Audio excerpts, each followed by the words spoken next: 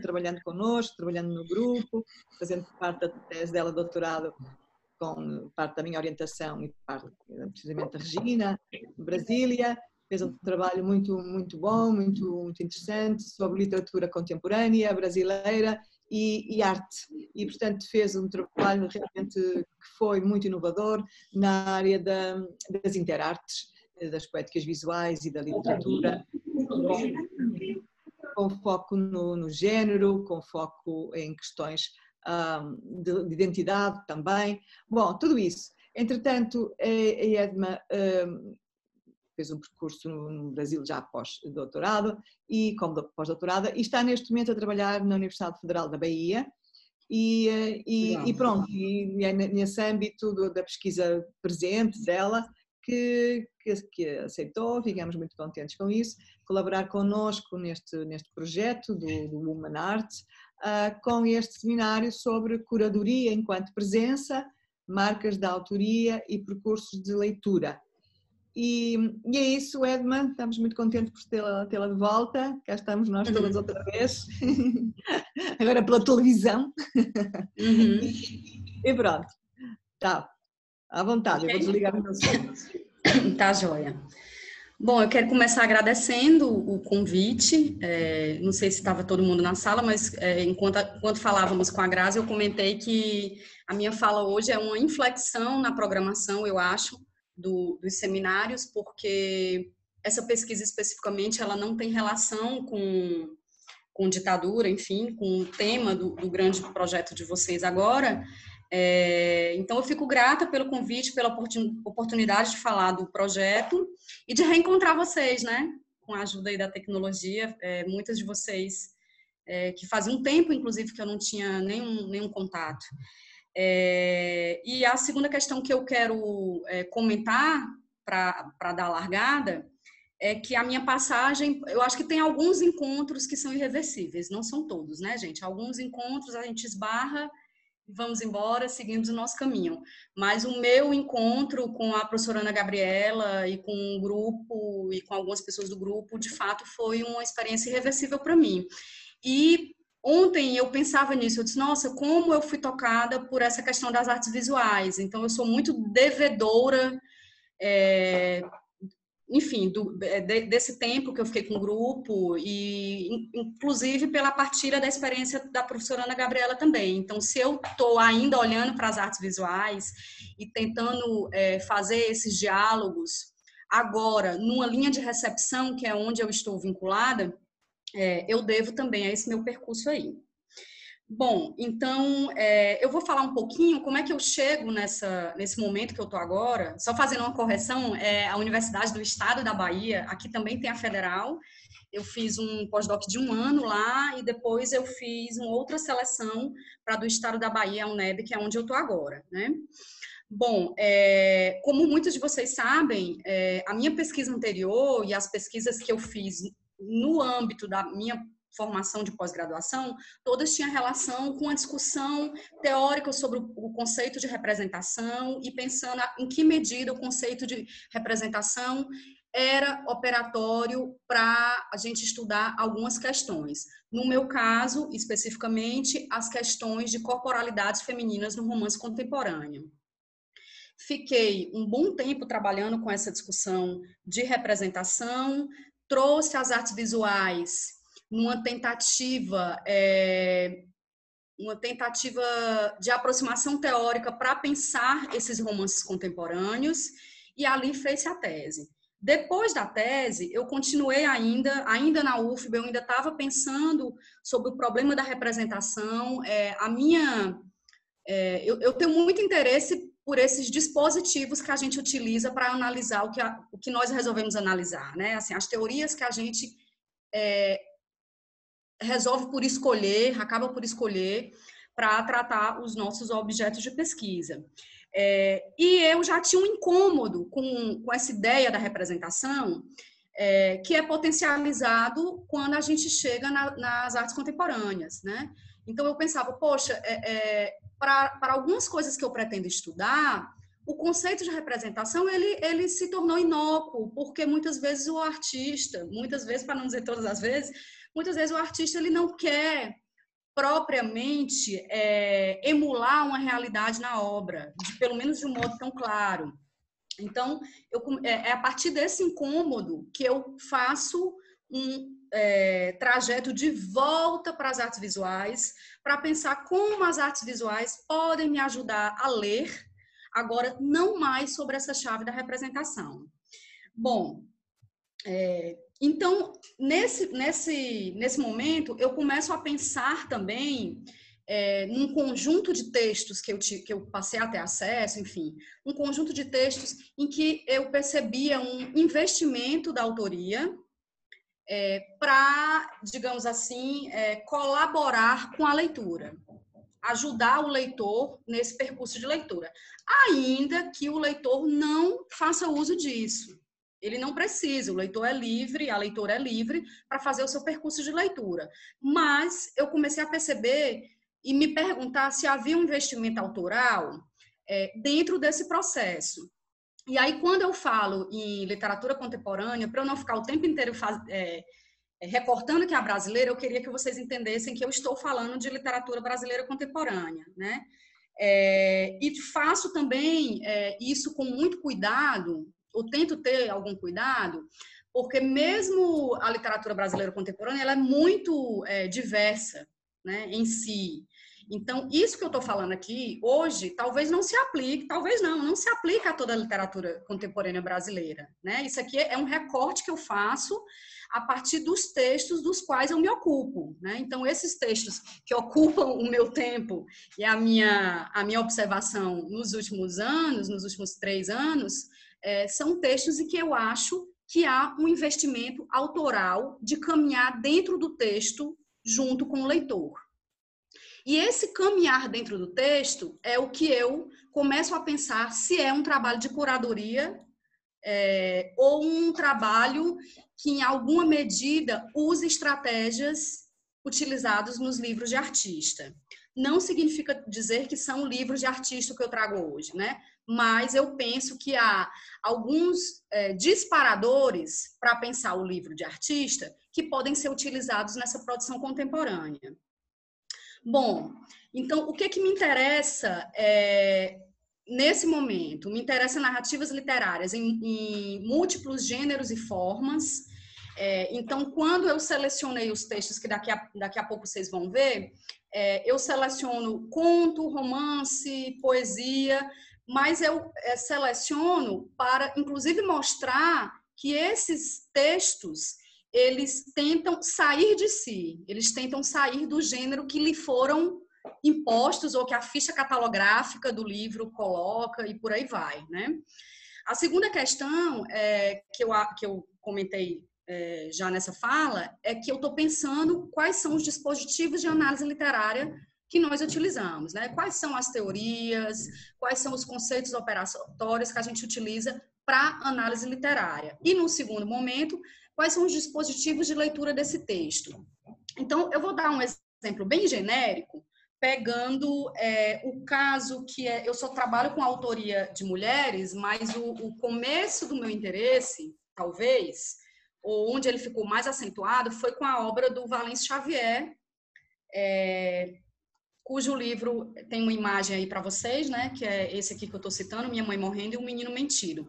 Então, o, esse livro, ele é catalogado como ficção brasileira contemporânea, aqui na ficha catalográfica, né? Então, é, muita gente pega ainda sem conhecer, achando que é um romance, achando. É, aliás, desculpa, não é nem ficção, é romance brasileiro. O outro dele é que, que é ficção. Então, ele é catalogado como romance brasileiro. E aí, quando você vai ler o livro, eu só, vou só passar as páginas para vocês terem noção.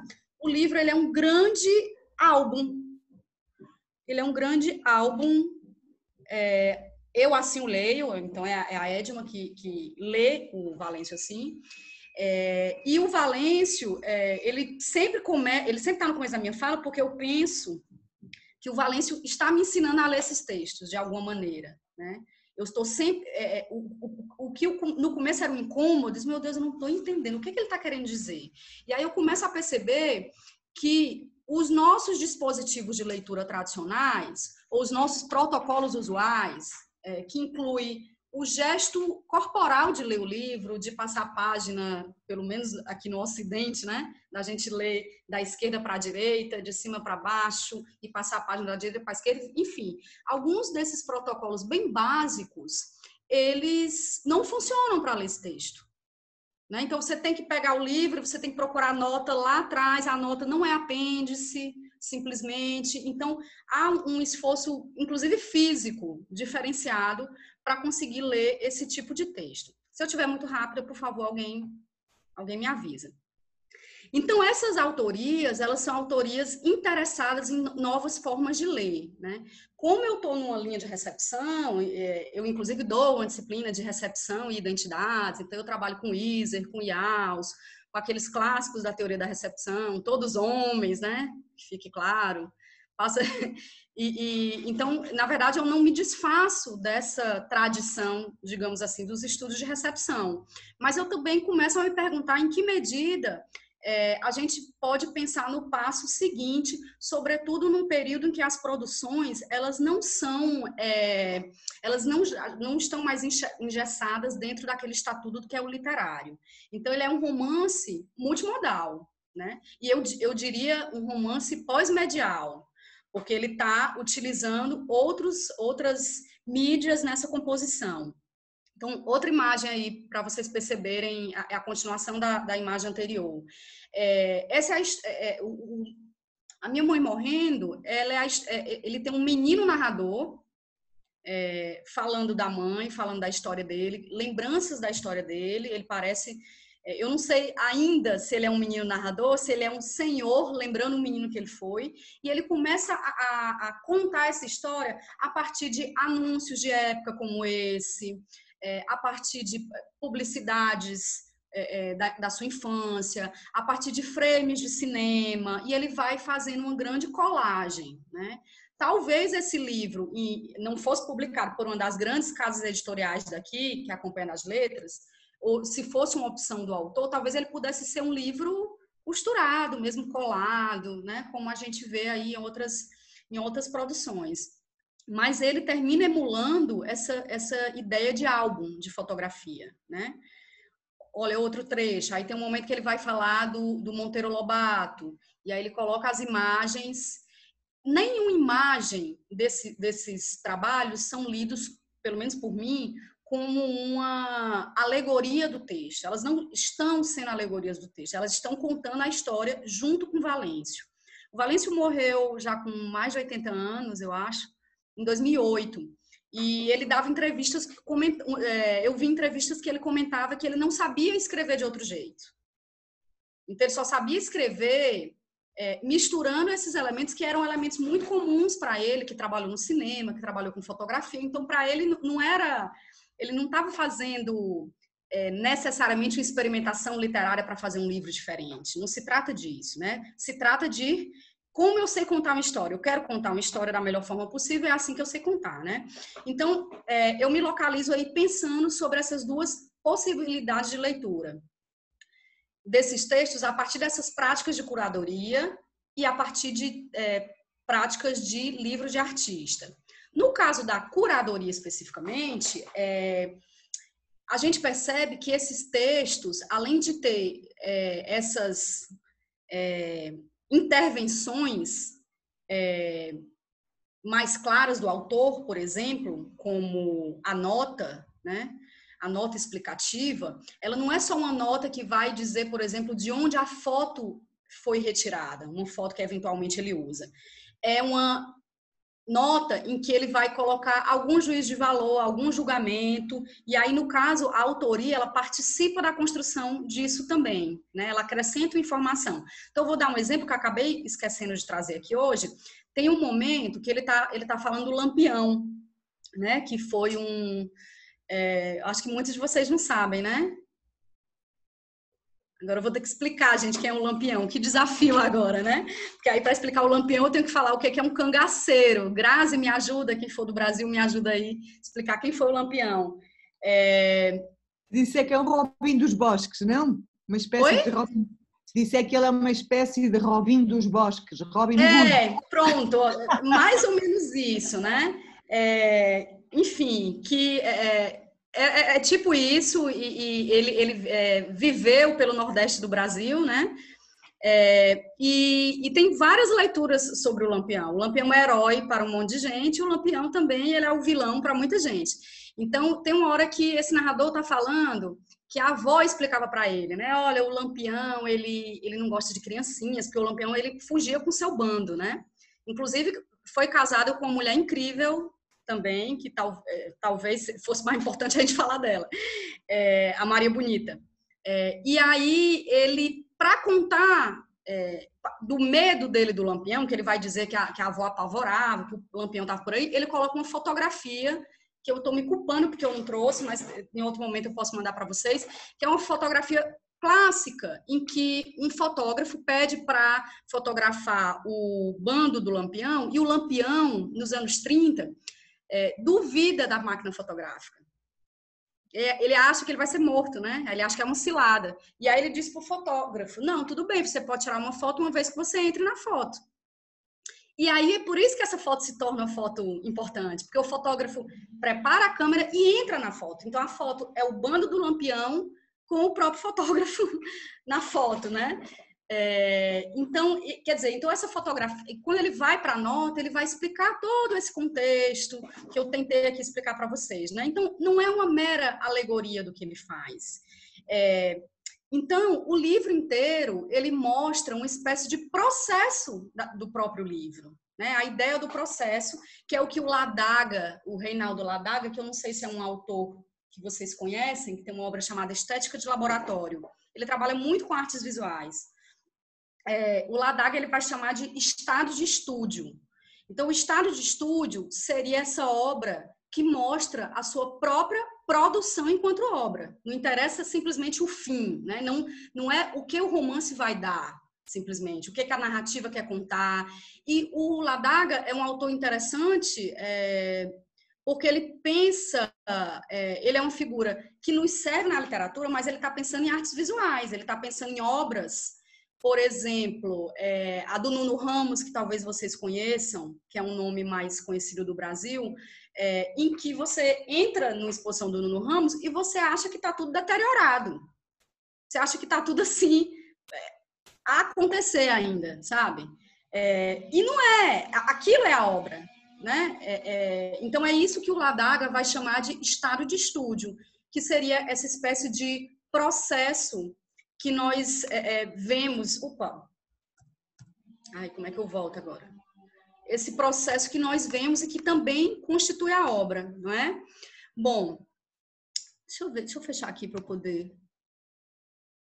É, tela cheia, vamos lá. Bom, então eu estou pensando nessa prática curatorial e nesse estado de estúdio, nessa, nesses sinais do processo de produção do texto. E estou pensando também, junto com outro autor, que é o Alexandre Ramos, que também está pensando em curadoria especificamente, né?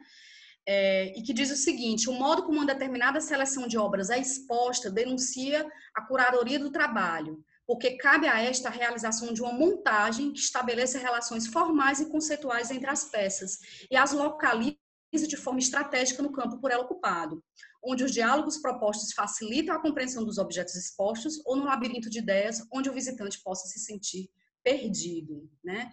Então, do mesmo modo que a gente tem uma, uma intervenção que colabore é, conosco durante uma visita guiada no museu, eu penso se a gente não pode ter uma ajuda autoral numa visita a um romance, por exemplo, né?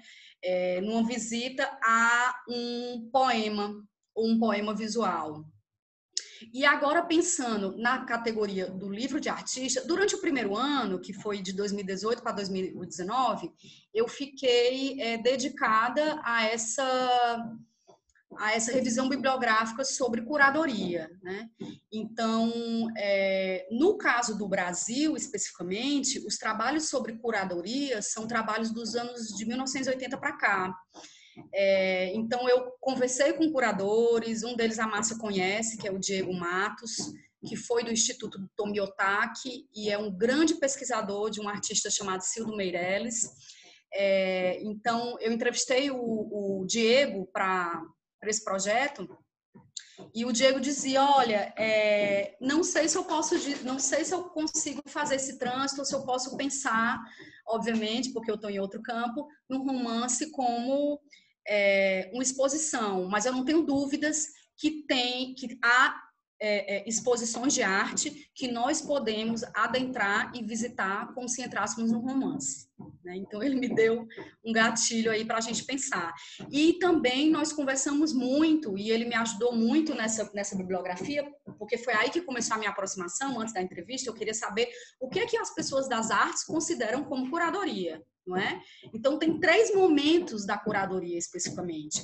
É, tem um, é, um primeiro momento que, é, que era dedicado só para os. O curador eram só os programadores artísticos propriamente. É, o segundo momento, é, com, tudo isso sendo alterado conforme as práticas artísticas é, são alteradas também, né? O segundo momento, em que esse curador se torna um mediador entre o público e, e, e, a obra de arte. E um terceiro momento, que é o momento que nós estamos agora, que me interessa, mas que não é consenso, em que o curador passa a ser visto como um criador. Então, existe a obra e a curadoria da obra seria uma obra também. Né?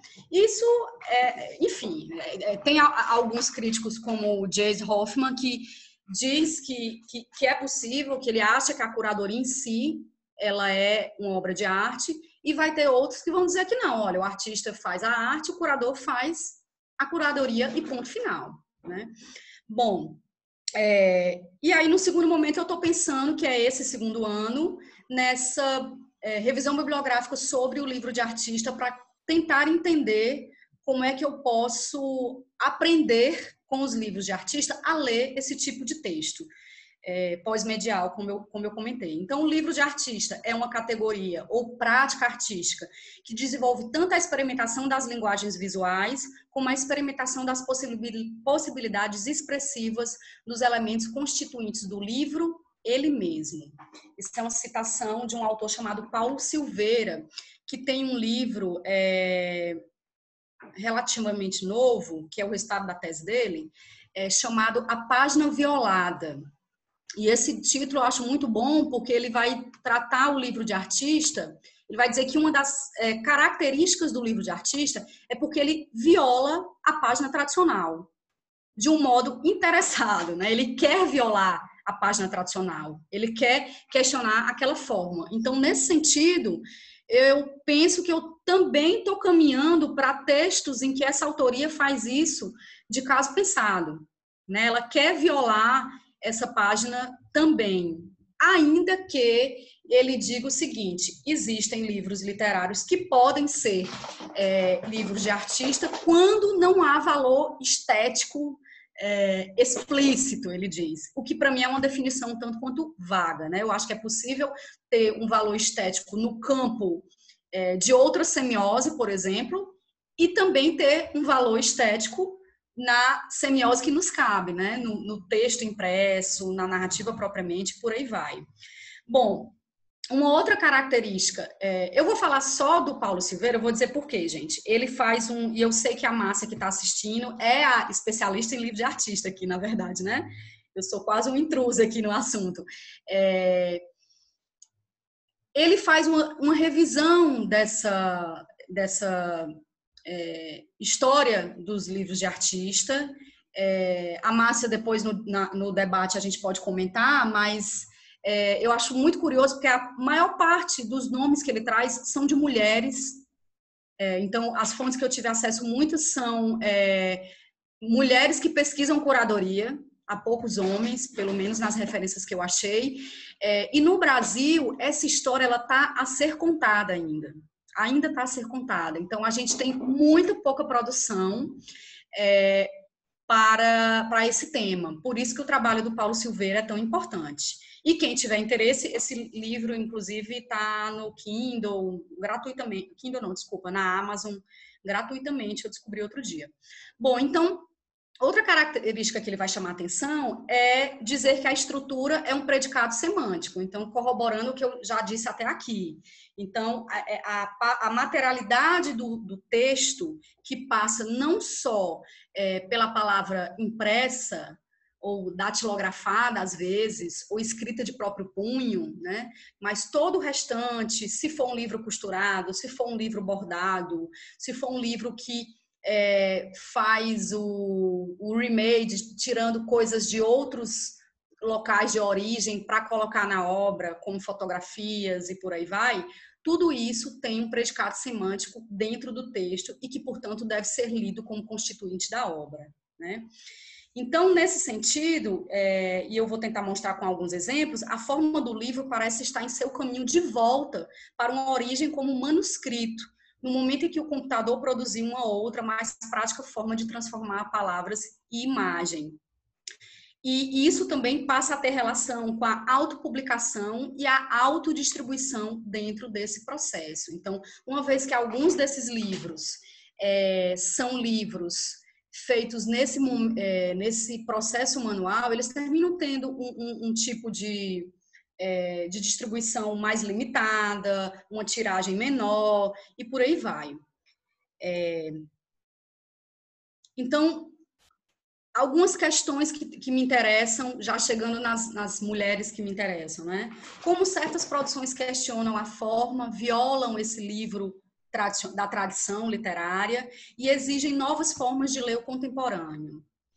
Segunda questão, como as, que eu tento observar, como autoras contemporâneas utilizam estratégias de curadoria e de livros de artista em suas produções é, que eu acho que é o que eu vou mais falar hoje. E esse terceiro ponto, que é um ponto ainda em aberto, o que as formas utilizadas falam sobre esse conteúdo e esse tema proposto.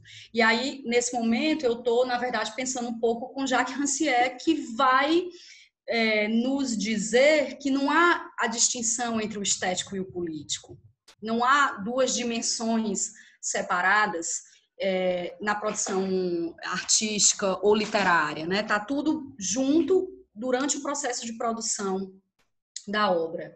Essa imagem que vocês estão vendo é de um dos livros com os quais eu estou trabalhando, que é o Dupla Exposição, da Paloma Vidal e a Elisa Pessoa. É uma parceria das duas. A Elisa é a fotógrafa e a Paloma Vidal, é, os textos são da Paloma Vidal. Ela, é, ela também é professora universitária na Unifesp, né, em São Paulo. É, mas daqui a pouco eu falo disso.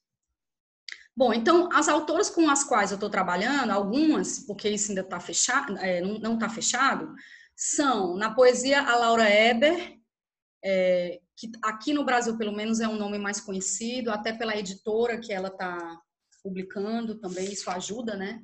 Que é uma editora que está fazendo trabalhos muito interessantes, chamada Relicário.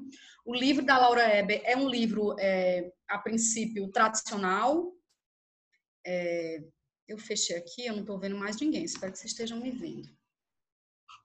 É, é, é, um livro na tradição, então, assim, o desafio de ler o livro da, da Laura Eber a partir desses dois dispositivos é, é, é um pouco mais difícil para mim, mas eu tenho feito isso.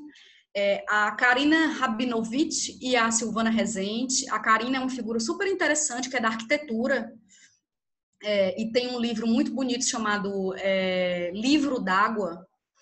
É, e é, em narrativas, porque se, se definem como narrativas, elas não dizem se é romance, o que, que é exatamente.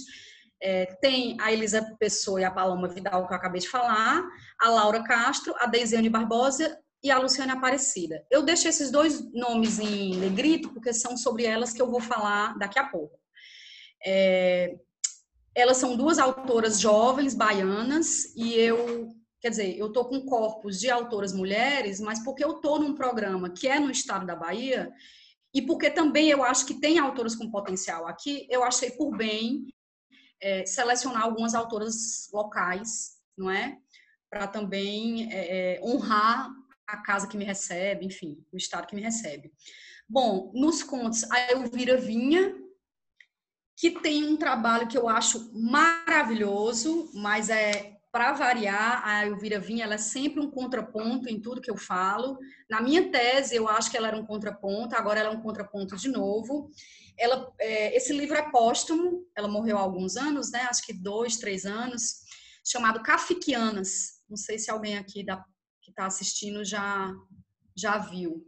O que é o Kafkianas? Ela selecionou 20 contos do Kafka e ela reescreve o conto. E ela reescreve o conto e ela ilustra os contos. É, só que ela não está contando de qualquer jeito. Ela começa a contar, é, por exemplo, é, vou falar aqui em linhas gerais, né, um médico do interior. E ela começa a contar o conto, aí ela diz, olha, então o médico estava no cavalo, ele estava chegando para atender uma pessoa e de repente é, apareceu uma manada de elefantes na porta da, da pessoa que está doente. Aí é, ela continua. Gente, é isso mesmo, uma manada de elefantes. É porque é Kafka. E Kafka é isso mesmo. Então ela começa a dar as impressões de leitura dentro é, do próprio é, do próprio texto. Então assim é um livro, como vocês dizem, a gente diria engraçado, né, que tem muita piada, porque ela ela leitora reescrevendo Kafka. Então, é, me perguntaram um dia, quando eu estava é, fazendo uma apresentação especificamente sobre ele, dá, dá para ler o Kafka, dá para entender o Kafka, ler o Kafka, lendo esse livro, da substitui, né? A pergunta foi essa. Eu vira substitui o Kafka? Eu disse, não, jamais. Né? Ainda que ela não fizesse assim, ela já não substituiria, né? Como eu penso que uma tradução não necessariamente substitui o, o autor no original, não é? Então eu disse, não, esse livro é a eu vira leitora lendo e contando a sua leitura para a gente, né? Enfim, então esse é um outro, é um outro momento da pesquisa que eu ainda vou chegar, por isso que eu disse que é um contraponto, né? E no romance propriamente, a Verônica Stiger, que também, eu acho que desses nomes os mais conhecidos no Brasil, pelo menos, são a Laura Eber e a Verônica Stiger, que elas estão ali na é, são aquelas autoras que estão nas redes sociais, que estão no debate público no Twitter, opinando sobre o governo Bolsonaro. Então, assim, elas estão é, dando a cara à mostra mais do que as outras, né? E aí a gente chega no primeiro livro, é, é na verdade, na primeira autora que eu quero comentar, que se chama é, Deisiane Barbosa, Deixa eu mostrar a carinha dela. Essa jovem aí, a Deisiane, deve ter uns. Agora eu não lembro de cabeça, mas ela não tem 30 anos. É... E a Deisiane Barbosa, ela. Ela, inclusive, ano passado, ela, ela lançou uma editora chamada Andarilha. Deixa eu voltar aqui. Pronto. Gente, é porque eu não sei voltar de outro jeito. Então, eu vou falar um pouquinho do Cartas à Tereza. Cartas à Tereza é esse livrinho aqui, o meu já tá gasto, de tanto que eu manuseei, que vem dentro desse saquinho, ó. Ele é todo datilografado. É... As páginas mudam de cor, enfim. É... Custo alinhavado, não é? A capa, que a gente tem que virar para ler, diz fragmentos de uma correspondência incompleta. Então, é o, é o subtítulo desse livro, que é o Cartas. E agora eu vou só achar aqui uma. Eu vou me citar, na verdade, é uma pesca de um texto meu, que eu acho que apresenta melhor a Deisiane Barbosa para vocês. Só um instantinho.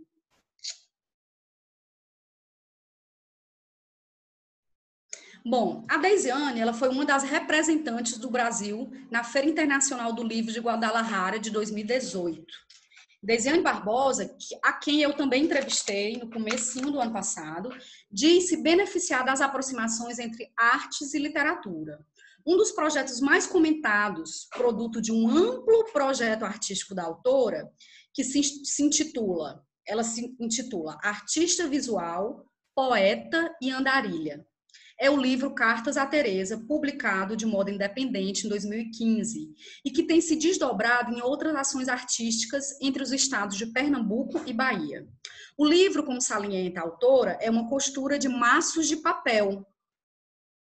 Tanto que, ao final, onde normalmente a editora vai nos dizer assim, ah, esse livro foi impresso em offset, pará, parará, aqui você vai ver que ela diz, é, em outubro de 2015 foi costurada uma tiragem de 100 maços de cartas.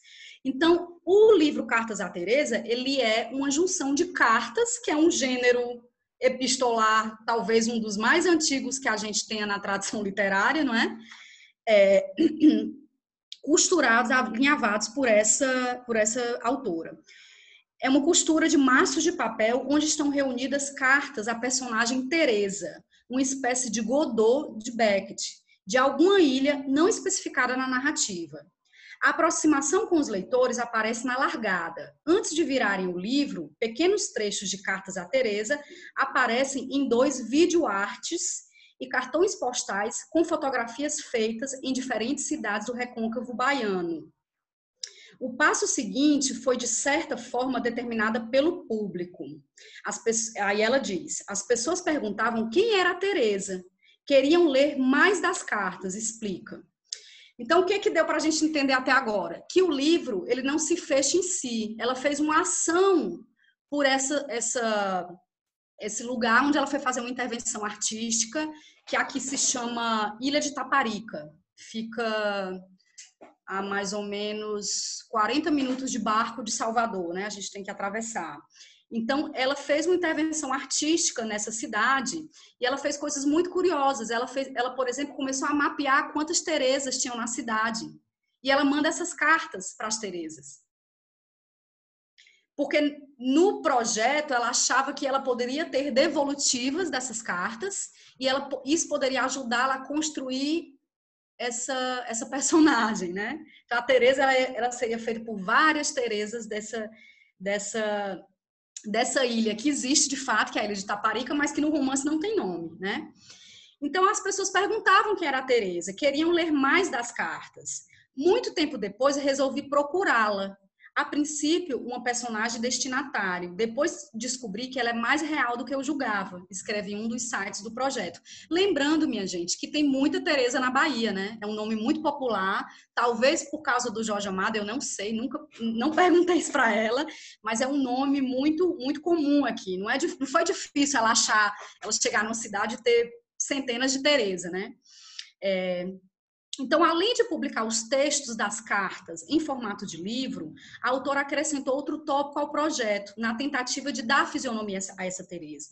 Por meio de consultas a leitores e entrevistas com mulheres chamadas Teresa na, na, cidade por onde ela passava, Deisiane começou um exercício de criação do perfil da personagem, quase uma descrição. Muito embora ela assuma que a personagem Teresa pode ser qualquer uma, a começar pelo leitor que é afetado pela carta. Né? Então, o leitor pode se sentir também um pouco a Teresa. O passo mais recente, que também é resultado das entrevistas com as Teresas diversas, portanto, com as leitoras, é uma catalogação desse inventário, que ela chama Inventário da Ilha de Teresa, disponível é, num site chamado andarilha.com e desenvolvido como parte de uma pesquisa que ela fez em artes visuais. Bom, e aí eu, é, eu queria mostrar. Bom, isso aqui eu acabo falando, mas é só para vocês verem como ela aparece no texto. Um dos prefácios, uma das versões do prefácio do livro. Parte da correspondência destinada a Teresa foi extraviada. Somente depois de algum tempo, após ter ido para endereços desconhecidos, retornou à caixa dos correios de seu remetente e agora encontra seu novo destinatário. Então, isso aí já é a dimensão ficcional do texto que a gente vai ter, né? Não é o que ela teve de volta da, desse, dessa intervenção artística dela propriamente, né? Já é, uma, já é o texto ficcional que ela cria. É, a imagem não é boa porque esse papel, gente, ele é um papel que tem umas é, que tem umas é, sei, na verdade ele era para ter tá descrito aqui não é então ele tem umas manchinhas então, não ajuda muito quando a gente faz é, o escaneamento, né? E aí, caso vocês tenham interesse de entender melhor, porque eu, eu também acho que é, é, ele é muito complexo para explicar numa fala de 40 minutos, ela, o projeto inteiro está disponível nesse blog, que chama Cartas a Tereza. Eu trouxe aqui só duas imagens, então quando vocês clicam nessas abas, ela mostra todos os textos, ela, ela tem uma série de fotografias sobre as intervenções artísticas, é, ela fala sobre o, a produção é, material do livro propriamente, não é? Ela mostra as cartas que foram enviadas, né? A, a carta aí com a, com a, formiguinha em cima da carta, né? Então, ela, nesse blog a gente consegue acompanhar é, como é essa, essa escrita dessas cartas. Então, na verdade, o livro ele não está sozinho. Aí você diz assim, ah, Edmond, mas quem tem acesso ao livro não necessariamente vai se interessar.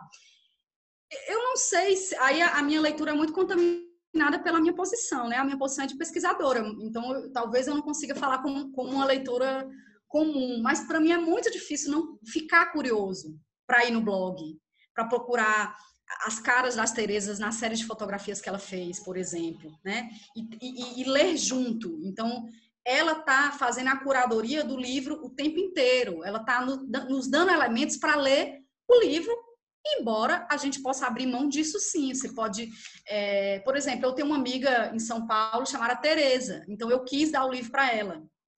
Eu nem entrei em detalhes, se eu vou dar o livro para ela, e aí se ela, enfim, quiser saber mais, eu falo do blog, eu falo, né, eu mostro os outros caminhos de ler essas cartas aí. É... Opa. Deixa eu ver se eu tenho mais alguma coisa dela que eu acho importante. Deisiane entende Cartas a Teresa como um livro de artista e reconhece um trabalho de curadoria com vistas na dimensão da troca com o leitor. O processo 100% manual, resultado de uma escolha consciente, segundo a autora, mistura múltiplos procedimentos, como impressão, fotografia e costura manual. De, é, Deisiane também tem trabalhado com serigrafia e tingimento em papel em outras produções. O projeto completo pode ser conferido nesse blog que aí vocês estão vendo. É, e aí eu recorro de novo ao Paulo Silveira que diz: o livro do artista seria uma obra em que expressões da natureza se apresentariam numa condição de múltipla existência, ou seja, existência em planos além do esperado. Nesse sentido, o trabalho de Deisiane, em decorrência do seu modo de concepção, acumula mais de uma possibilidade classificativa.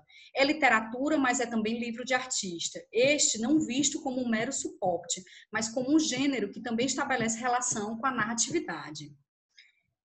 Bom, e agora eu quero mostrar uma segunda autora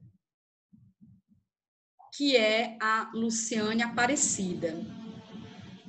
A Deisiane Barbosa, como eu comentei, ela é pesquisadora das artes, tem mestrado em artes. A Luciane Aparecida, ela é uma colega da literatura, ela é professora de literatura é, numa universidade aqui, que é a Unilab, que é uma universidade não sei nem explicar a sigla agora, é, mas é uma universidade é, resultado de um pacto do Brasil com os países africanos de língua portuguesa, dos bons períodos do governo do Lula, né? Então a Unilab é, é essa universidade que faz essa ponte. Bom, a Luciana Aparecida, ela também no início tinha uma editora que não tem mais, teve uma vida curtíssima chamada Pantin, assim como a Deisiane, que... Ah, tem um detalhe, gente, desculpa, vou ter que fazer um, um retorno para a Deisiane. A Deisiane, ela tem uma editora chamada Andarilha, é, e eu lembro que quando eu conversei com ela, é, eu perguntei, você já tentou fazer esse seu livro numa editora tradicional? Porque hoje não é tão difícil publicar, né? É, e aí ela falou, olha, é, na verdade eu até tentei, mas havia procedimentos que eles não, eles não queriam fazer, que eles não fazem. Então, esse livro ele só seria possível se fosse desse jeito. Então, quando ela lança a Andarilha, e aí eu tive uma segunda entrevista com ela, na verdade, por conta de um podcast que eu estou produzindo apresentando, enfim. E eu fiz um programa sobre mulheres que editam. É, e aí ela. Então, eu queria pegar uma editora mais com, mais experiência, peguei uma editora com 40 anos de experiência é, e peguei a Deisiane que estava chegando nesse mercado, né? É, e aí a Deisiane fala que ela resolve abrir a editora porque é, pessoas como ela, colegas dela, queriam fazer livros como o dela e não tinham como. Então, ela resolveu fazer o que ela gostaria que tivessem feito por ela, né? Mas ela termina fazendo sozinha na, naquela ocasião. Então, ela tem uma editora chamada Andarilha, que é o nome do projeto, que vocês depois também podem conferir. Então, a, a Luciane Aparecida tem essa editora, teve essa editora chamada Pantin.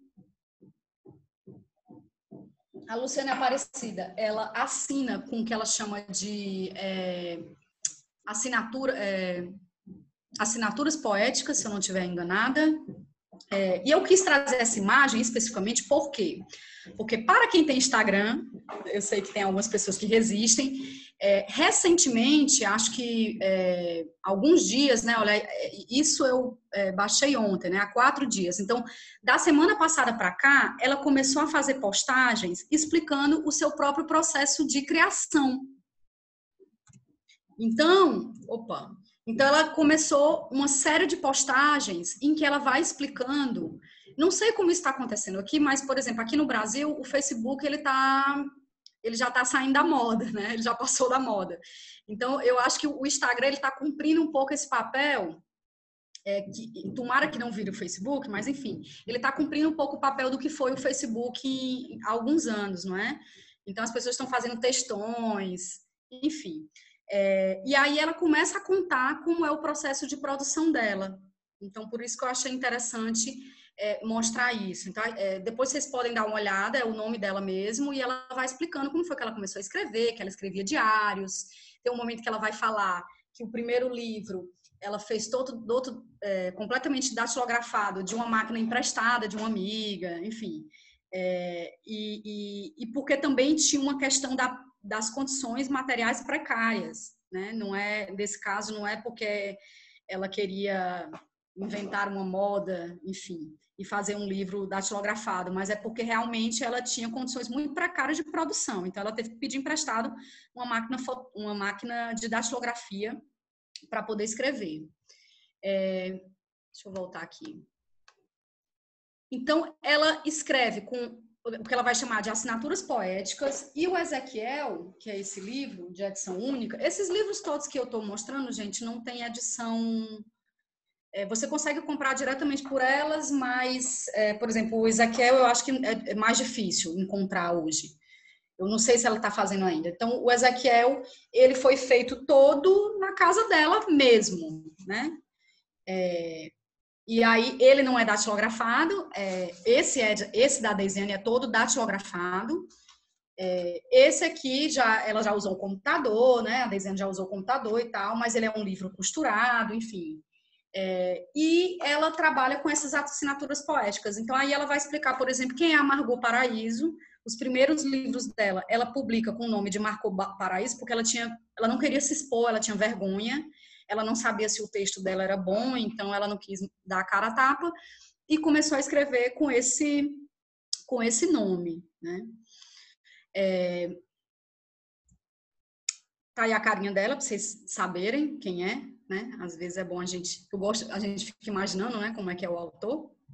É, e aí tem um texto muito interessante, um trecho dele, eu não vou ler completamente, é, mas que eu acho muito interessante porque é um, é, é um dos momentos que eu acho que é essa intervenção de curadoria. Então ela vai aí dizer, oi? Teve um ruído aí, não sei se ela vai dizer, ela, ela chama o texto de 11 pontos para ouvir gente. Daqui a pouco eu vou comentar esse texto, porque de novo eu vou recorrer ao meu texto.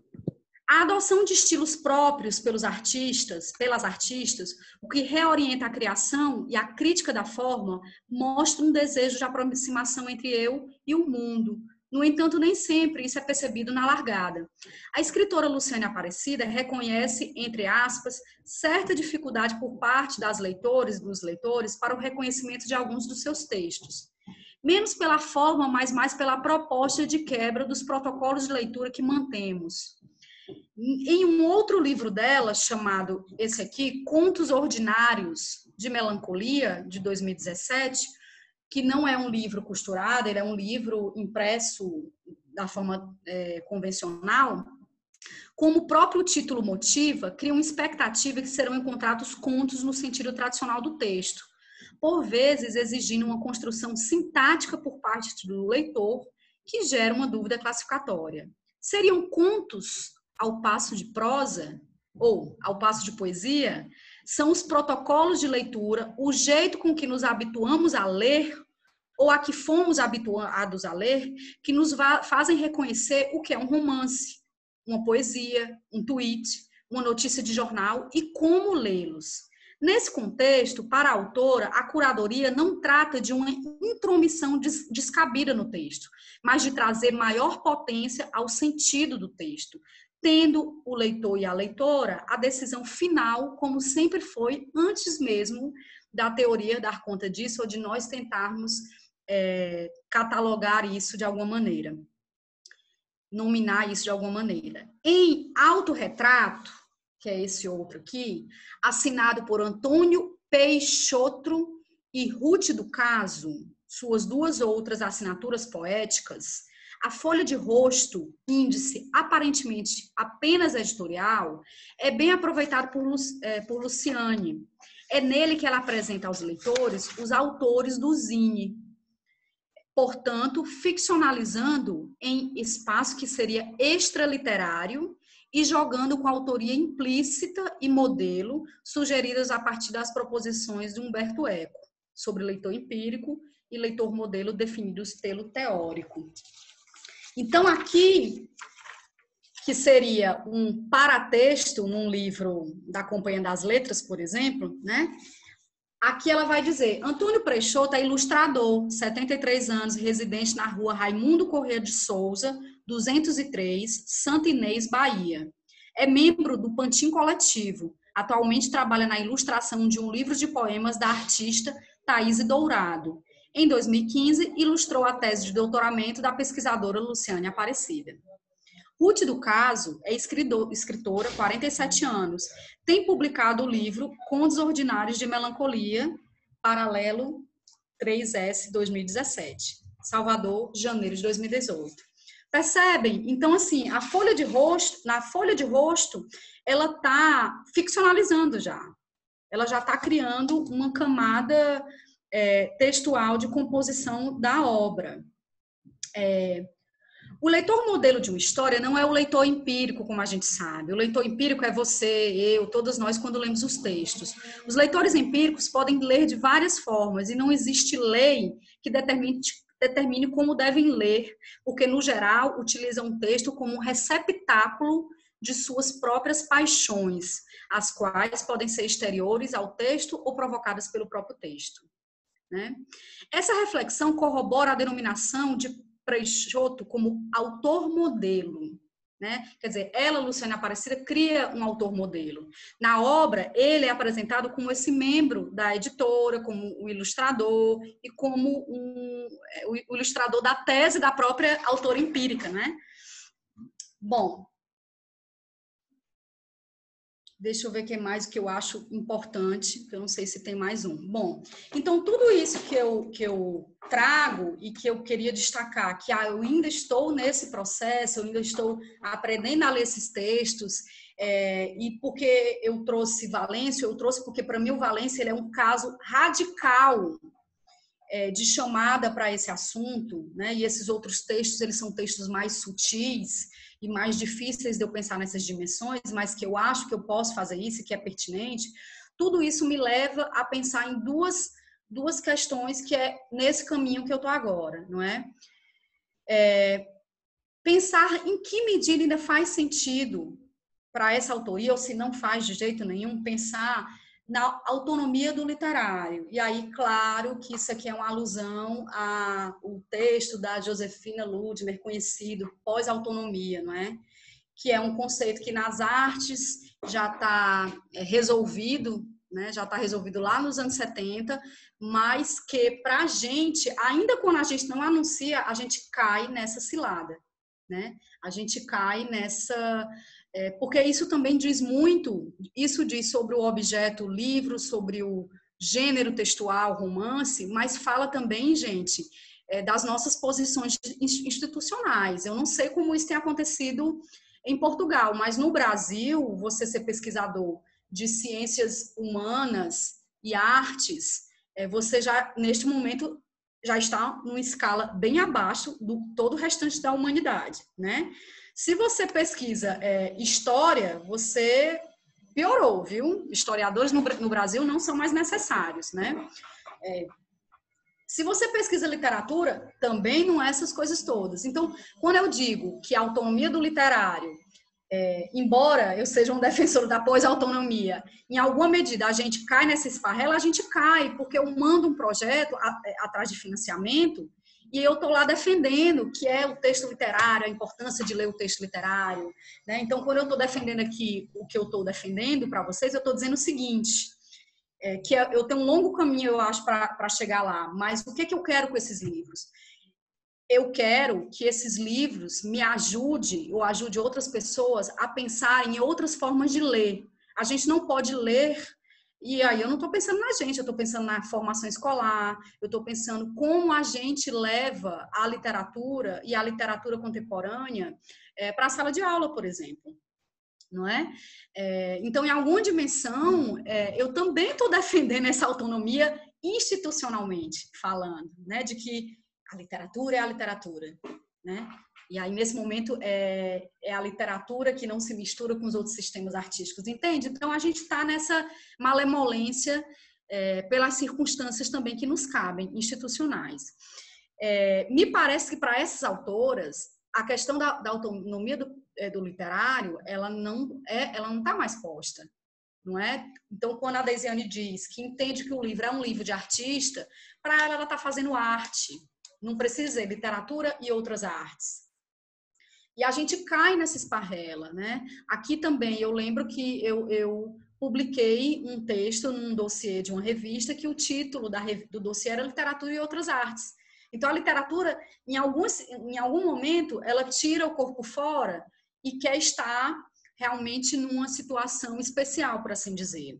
E a segunda questão que eu coloco no caminho é também não tenho resposta. Se ao escrever com o corpo, porque elas escrevem, elas andam, elas costuram, elas tingem o papel, livros manualmente arquitetados, essas escritoras também escrevem sua experiência de memória dos seus corpos e de sua experiência de leitora numa espécie de ler junto, né? Esse ler junto aí, parece que eu estou falando do Barthes, mas acho que nem foi pensando nisso, né? Mas, é, quer dizer, esse processo manual de produção desses textos também escreve uma memória do corpo dessas mulheres, e aí tem a ver com a, o meu interesse com as corporalidades que eu pesquisei durante o doutorado, enfim. É, não tenho resposta, tenho sinalizações que elas mesmas me, me dão, não é? Então, diferente do que eu fiz no doutorado, agora eu estou entrevistando as autoras. No doutorado, eu conversei com duas que foi a Cintia Moscovitch e a Elvira Vinha. É, mas agora eu estou conversando com essas autoras, estou querendo, estou é, é colocando essa questão para elas também, para entender também é, como é o processo, para elas me, me é, relatarem, me reportarem como é o processo de produção dos livros. Bom, então é isso. Eu trouxe aí as referências, caso, caso vocês tenham interesse. É, posso disponibilizar os, os slides para vocês olharem quais são as referências que eu estou utilizando e abro o debate. Obrigada.